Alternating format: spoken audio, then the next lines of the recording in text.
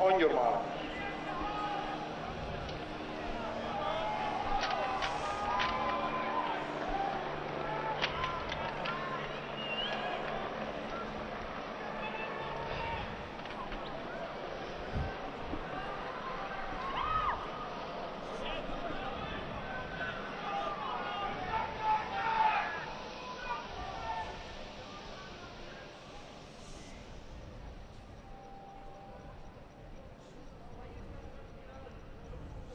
Set.